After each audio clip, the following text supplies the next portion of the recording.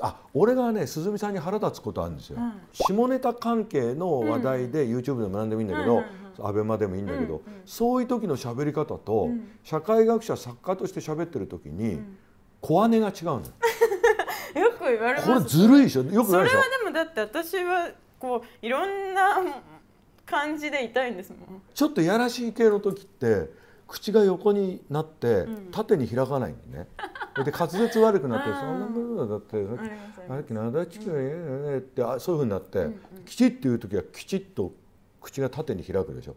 それはもう自然とやってるんだねじゃあ。まあ地上物とロリ物と両方やってた地上物ロリ物で コスプレの時だからいちいち自覚しなくてもそうなれるってことだ。みんなだってでもいろんな顔があるじゃないですか、まあ例えば銀座の顔と、今お話してくださる顔とご家庭の顔とかこうお仕事バシっていう時と、うん。だって全然違いましたよ。例えば「紅白」の時と「報道ステーション」とかの時と全然違うじゃないですか。いやもうどっちも今思うとコスプレだね。でしょ？でもだからそんな、もう鈴木鈴木のあの社会学でいうと本当そうだ。いやなんか「報道ステーション」はコスプレ感がすごくて、はい。私はそれが面白かったけど、いつまでやるんだろうと思ってました。そういうちょっと厳しめのこと言わないでくれあれでも12年間頑張ったんですよそうだからあでもあの時は本気でやってんだよ。いや本気ですよあれねコスプレと思うあコスプレって言われれば引きで見ればそうだけどニュースキャスター演じてたけど、本気で演じてた、うんうんもう生き死にかけて、もう骨をうずめようと思って。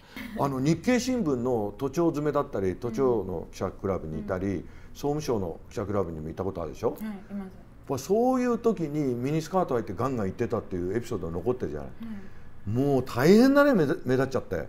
みんなが緊張とかしてる場所とか真面目なところとかで水差したくなるんですよ。だから IC レコーダーをネイルサロンで綺麗にデコってもらってたんですけど、うんうん。そういうのとかニョキってなった時にみんながちょっとふって笑うああいう感じが好きだったっていうえ感じ。本当にデコったやつ出したデコったやつでしたよずっと。でもだから忘れても。ななんで思い切ってデンマとか でデコってもらって？までやったらでウ昔ィーンってこう先端が回転しながら音悪く録音されるみたいなのはそこまではそこはだから節度を持ったテロリストだあよね。あそうですそうです、えうん。私でも最後の方私本当に社で部長からスカート禁止令が出てましたからね、あもうちょっとそのミニどころか、うん、スカートダメスカートやめろと。はでもその部長も自分のいやらしさを自白しちゃったね。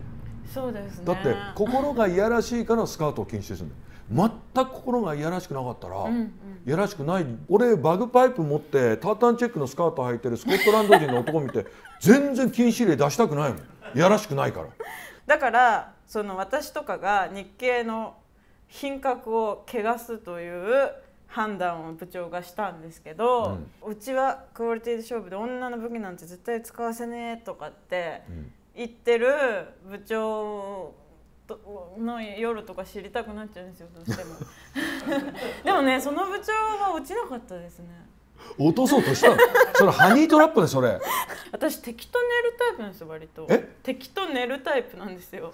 この人腹立つとかって思うと、好きになりたいじゃないですか。嫌いな人ってあんまりいたくないからいてほしくない。セックスするならする付き合うなら付き合うならして、一番嫌いなな先輩とかと寝ましたよだから。でですぐ終わるのそれで。で多少嫌いじゃなくな向こうがって終わる。新しいストーリーを持ってきちゃったりするじゃないですかそれで。そうするとちょっとごめんなさいそんなつもりじゃなかった。昼間の仕事でチェーフやされてるステータスのある人がね、えー夜のにか見せる顔っていうのはバカ丸出しになるっていうのもちょうどプラスとマイナスでバランス取ってるって感じあるじゃないですか。いや権力者はあの SM クラブとか多かったりします。しそうだよね。お俺局アナ時代に、で SM クラブに俺が実行実況リポートで取材行った時にすっごいカシミヤの薄いブルーのニットを着て、でもう普通のなんか素人っぽい感じのうん。上品な奥様で、ううんちは会員制ですけれども、お客さんに了解取ってるからこれから来るお客様後でモザイク処理していただけるので了解取ったらどうぞ取ってください。あなたもよく喋ってくださいって言われたから入ってきた瞬間三つ揃いのピンストライプのスーツを着ております。このステータス感は何でしょうか？この重厚感はやはり会社の役員といった後ろから来る人なんだ？弁護士か？それとも医者か？とか言ってたら、本当に弁護士と医者で23人で入ってきたんですよ仲間内で。でその瞬間に「なんだよ!」って「ママママ」っつって。ママどうなってんだよ聞いてないんだなってものすごい、そしたらあらごめんなさい」っつって「ちょっとカメラ止めてくれます?」って言われて。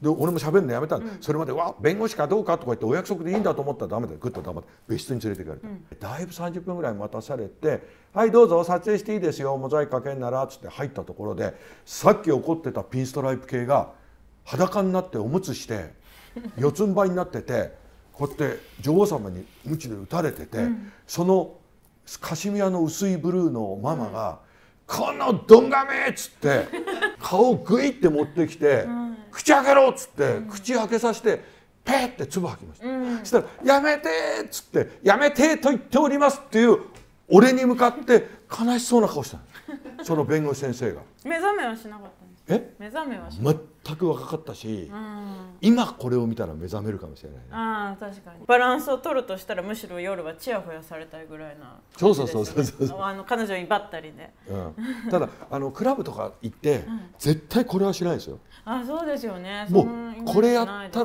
僕の原則があって、これやったらおしまい。これはあのバブル時代の静岡から毎週1回東京出てくる不動産屋「えー、古谷ちゃん見てるよこれ。これ。これいいじゃん」っつって高いボトル持ってきて返そうとすると怒り出すからもらわざるを得ないみたいな人。それからこれやったら終わりでしょ？いやでもじゃあそれはすごくこれも見見えか？律している所詮見えもうもうバカにしてる感じ。ちょっとアクリル外しますよ。バカにしてるでしょ。もうだって自分で喋りながら笑ってこの男調子こいて。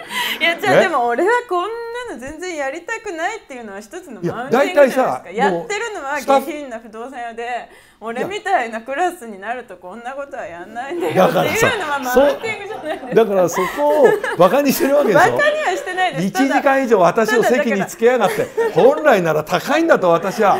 今ねスタッフがいやいや閉めろって1時間経過で出たそれで私は呼ばれているのに。俺が捕まえてる。でももう一つあるんですもう鈴木さんも俺嫌われついでに混んでる時とかあるじゃん。今はもうコロナで大変だからねなかなか行きづらいけど、はい。どっかクラブく入っていく時の、高級キャバクラ入っていく時の男の構えってね、混んでる場合にね、知ってる女？あポケット混んでる？で入れて。